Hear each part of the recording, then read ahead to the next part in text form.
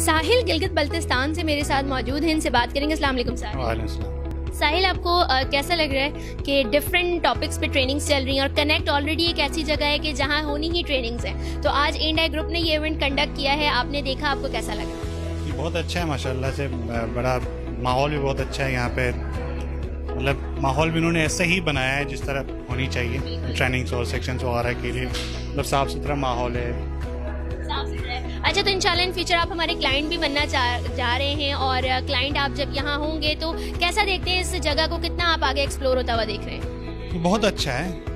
और मैं तो सिर्फ़ सुना था लेकिन आने के बाद उससे ज़्यादा मैंने इसको बढ़ के पाया। ठीक है? सुना था और आने के बाद इससे ज़्यादा बढ़ के पाया है। ऐसा है।